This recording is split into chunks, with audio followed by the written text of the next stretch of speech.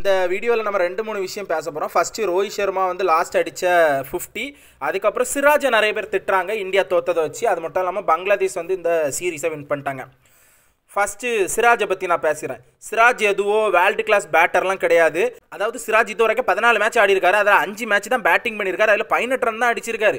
இப்படி இருக்கும் பட்சத்தில் ஏதோ சிராஜ் வந்து பெரிய வேர்ல்டு கிளாஸ் பேட்ஸ்மேன் போல் எல்லாரும் சிராஜ் மேலே பழிய போடுறாங்க. சிராஜ் வந்து அந்த ஓர மேடனாக இருக்கக்கூடாது எப்பா அங்கே உங்களுக்கு ஃபேவரட்டான பேட்ஸ்மேன் இருந்தாலும் அந்த இடத்துல பார்த்தீங்கன்னா அப்படி தான் ஆயிருக்கும். ஏன்னா அவனுக்கு வந்து வேறு வழி இல்லை. அவுட்டும் ஆகக்கூடாது. ஏன்னா அந்த ஓவர் முடியக்குள்ள அவுட்டும் ஆகக்கூடாது. சிங்கிளும் தட்டி கொடுக்கணும் அப்படிங்கும்போது அவன் என்ன பண்ணுவான்? அவனால் முடிஞ்சே தான் பண்ணாப்புல லாஸ்ட்டில் அவுட் ஆகிட்டார் அது வந்து மெ மஹமுதுல்லா பவுலில் தான். அதனால் சிராஜை இதில் வந்து யாருமே பிளைம் பண்ணாங்க. நிறைய பேர் வந்து கெட்ட கெட்ட வார்த்தையெல்லாம் திட்டி வைக்கிறீங்க. சிராஜ் அவரோட வேலை என்ன தெரியுமா? பவுலிங் அந்த பவுலிங் டிபார்ட்மெண்ட்டில் சிராஜ் வந்து நல்லாவே போட்டார். ரெண்டு விக்கெட்டும் எடுத்து கொடுத்தாரு. அதனால் சிராஜை இதில் இழுக்காதீங்க. அதுக்கப்புறம் இந்தியாவில் இப்போ வந்து நம்ம ரோஹித் சர்மாவை பற்றி பேசுவோம். நான் சத்தியமாக நினச்சி கூட பார்க்கல. கண்டிப்பாக ரோஹித் சர்மா பேட்டிங் பண்ண வருவாருன்னு சொல்லிட்டு நான் எதிர்கூட பார்க்கல. ஆனால் ரோஹித் சர்மா சர்ப்ரைஸாக வந்தார்.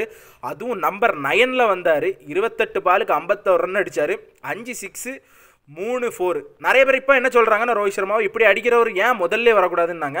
முதல்ல வந்திருந்தாருன்னா கண்டிப்பாக அது வந்து சுச்சுவேஷனுக்கு ஏற்ற மாதிரி இருக்காது. அந்த டைமில் அவரோட விக்கெட் போயிருந்தாலும் இதாக இருக்கும். இப்படி இருக்கும் பட்சத்தில் ரோஹித் ஏன் கீழே வந்திருப்பாருன்னா அவர் வந்து ஷர்துர் தாக்கூரும் தீபக் சக்கரும் ஒரு மாதிரி விளையாடிக்கிட்டு இருந்தாங்க. அதனால ரெண்டு பேரும் சேர்ந்து மேட்சை முடிச்சிருவாங்க அப்படின்னு சொல்லிட்டு நம்பிட்டு இருந்தார். கிட்ட போகும்போச்சுலாம் நம்ம போகலாம் அப்படின்னு சொல்லிட்டு இருந்தாங்க. ஆனால் ரைட்டான நேரத்தில் விக்கெட்டை விட்டாங்களான்னு கேட்டிங்கன்னா கிடையாது. அவங்க பார்த்தீங்கன்னா ஷர்துர் தாக்கூர் ஒரு விக்கெட்டை விட்டார் தீபக் சக்கர் ஒரு விக்கெட்டை விட்டார். அவங்கள நம்ம குறை சொல்ல முடியாது. ஏன்னா டீமே பேட்டிங் ஆர்டர் ஒரு கொலாப்ஸில் கிடக்கு. நம்ம ஜெயிப்போமா ஜெயிப்போன்னு கூட நம்ம நினச்சி பார்க்கல. ஆனால் அஞ்சு ரன் வித்தியாசத்தில் நம்ம தோற்றுருக்கோம் இது வந்து பார்த்திங்கன்னா பெரிதளவில் என்னை பொறுத்தளவில் நம்ம பாராட்டக்கூடியது. நான் ஏன் சொல்கிறேன்னு பார்த்தீங்கன்னா ரோஹித் சர்மா வந்து லாஸ்ட் இப்படி பேட்டிங் பண்ணுவார் நீங்கள் யாருமே எதிர்பார்த்துருக்க மாட்டீங்க. நானும் எதிர்பார்க்கல. இருபத்தெட்டு பாலுக்கு ஐம்பத்தோரு ரன் அடிப்பாருன்னு சொல்லிட்டு நான் எதிர்பார்க்கவே இல்லை. அதுவும் அஞ்சு சிக்ஸ் இந்த கை வச்சுட்டு அடிப்பாருன்னு சொல்லிட்டு நான் எதிர்கூட பார்க்கல. அதாவது டீமுக்காக அந்த கேப்டன் நானே இறங்குறேன். கண்டிப்பாக என்னால் முடிஞ்சோ முடியலையோ நான் அடிக்கிறேன். அந்த மாதிரி வந்தார். அடுத்த ஓடியில் கண்டிப்பாக ரெஸ்ட் எடுத்துருவார். ஏன்னா சீரீஸே போயிருச்சு. அதுக்கப்புறம் பார்த்தீங்கன்னா இனி ஒரு ஆடி இன்ஜுரி பெருசாச்சுன்னா அதுக்கப்புறம் டெஸ்ட் மேட்ச் சீரீஸ் இருக்கா? அதனால் பார்த்தீங்கன்னா ரோஹித் சர்மா அடுத்த மேட்ச் ஆடுறதுக்கு வாய்ப்புகள் கம்மி தான் இருந்தாலும் லாஸ்ட் ஓவரில் அந்த யாக்கரை கூட அடிக்கணும்னா அடிச்சிருக்கலாம். ஆனால் என்ன பிரச்சனைனா அந்த கையில் இருக்க காயம் தான் அந்த காயம் வந்து பார்த்தீங்கன்னா கண்டிப்பாக அவருக்கு வந்து இதாக இருக்கும். அது மட்டும் இல்லாமல் எல்லா பாலுமே ஸ்லோ பால் போட்டு திடீர்னு யாக்கர் போட்டார். அதான் பிரச்சனை. அதாவது ரோஹித் சர்மா வந்து ரெண்டு மூணு சான்ஸும் கொடுத்தாரு. அவங்க அதுக்கு ஹோப் பண்ணி தான் நமக்கு வந்து பார்த்திங்கன்னா இது கிட்டத்தட்ட போகணும் ஆனால் ஹார்ட் லக் கடைசியாக யார் வின் பண்ணோன்னு இருந்துச்சோ அவங்க தான் வின் பண்ணாங்க.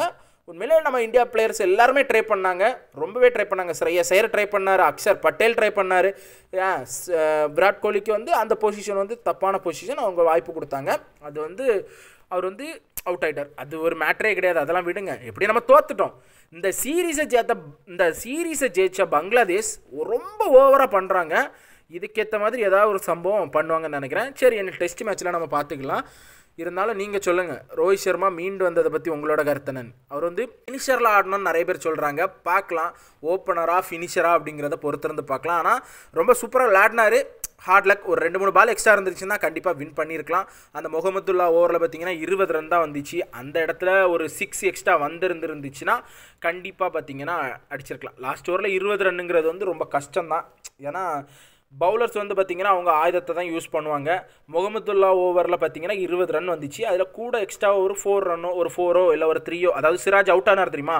அது மேபி சிராஜ் பேட்டில் பட்டு அது ஃபோரோ ஏதாவது போயிருந்துருச்சுன்னா வின் பண்ணியிருக்கலாம் சரி அதான் நமக்கு வந்து பார்த்திங்கன்னா ரொம்பவே இது. அது நாற்பத்தேழாவது ஓவரில் பார்த்தீங்கன்னா வரம் ஒரு ரன் தான் அடித்தாங்க அதுலேயும் கூட ஒரு ரெண்டு மூணு ரன் அடிச்சிருக்கலாம். இருந்தாலும் பார்த்தீங்கன்னா ஃபைனலாக ஒரு டீசெண்டான தோல்வியாக இருக்குது இதை பற்றி உங்களோட கருத்து என்னன்னு மறக்காமல் கீழே கமெண்ட் பண்ணுங்கள்